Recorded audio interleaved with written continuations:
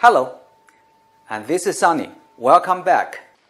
Today my topic is how a switch dynamically builds source address table. In this video, I will talk about a general layer 2 switch, not including layer 3 or multi-layer switch. Here are some common features of a layer 2 switch. 1. A switch separates a collision domain. When node A sends a frame to B, only its receiver B can get the frame.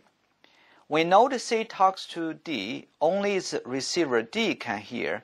Communications on a local switched network become one-to-one conversations, and a switch gives every conversation a full bandwidth of the network.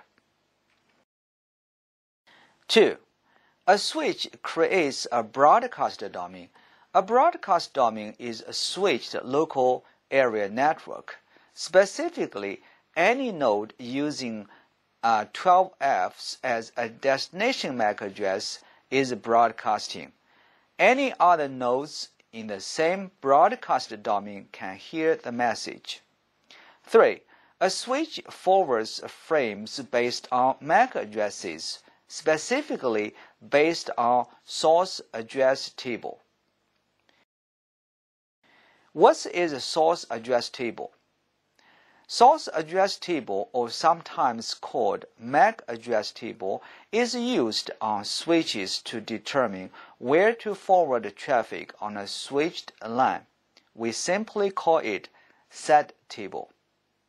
How does a switch build and expand its SAT table dynamically? When a switch is first turned on, the switch copies the source MAC addresses and builds a table of all connected devices and their associated ports. This table is a source address table. When computer A sends a frame to computer C, the switch would forward the frame to port 4 where the computer C is attached.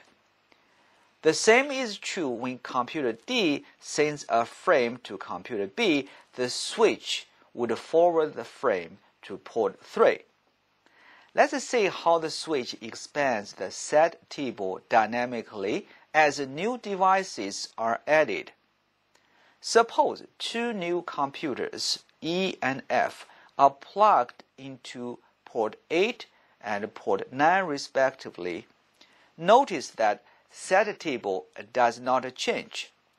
The reason is that a switch learns MAC address of a newly connected device only after the switch receives a frame from that new device. In other words, the switch does not update its SAT table until it receives a frame from a new device. Let's see an example. Suppose the computer E sends a frame to computer F.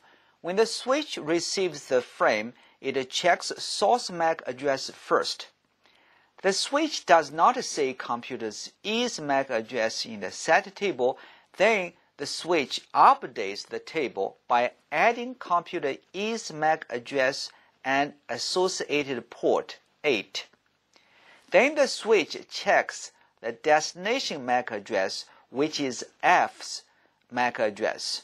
And again, the switch does not see the F's MAC address in the table, and it has no idea of which port is connected to the computer F.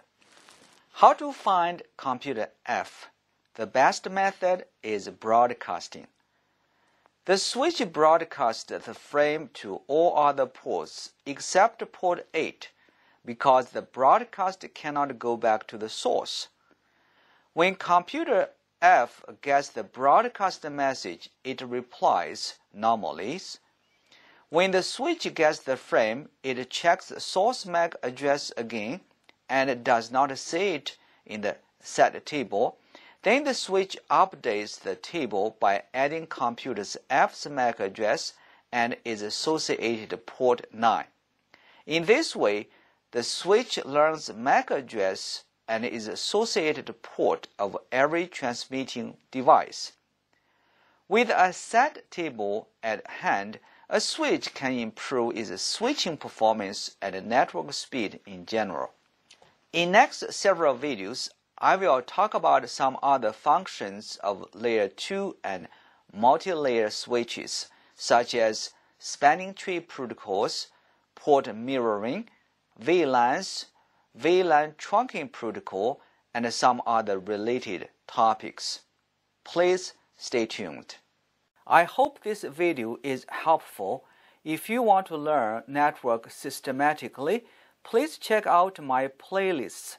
They are organized by topics. Thank you very much and see you next time.